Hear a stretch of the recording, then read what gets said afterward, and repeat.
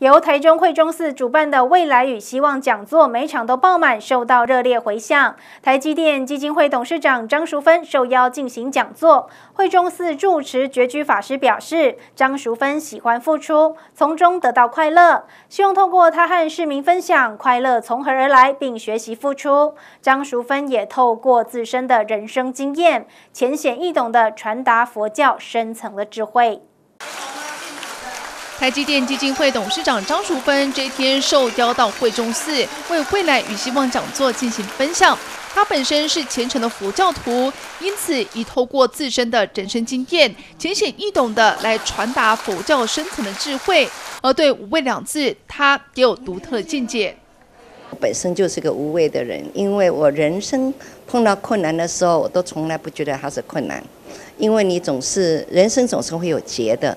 等你碰到有结的时候，你把它慢慢散开来，就是一个一个果，是一个学习。笑容挂脸的张淑芬，全身上下洋溢着快乐的气息，热衷奉献，更积极的投入社会公益。惠中寺也希望透过他的欢喜付出，与台中市民来做分享。今天是我们惠中市未来与希望讲座的第十八场，非常开心，今天邀请到台积电的 Sophia。Sophia 呢，他人非常的低调跟客气。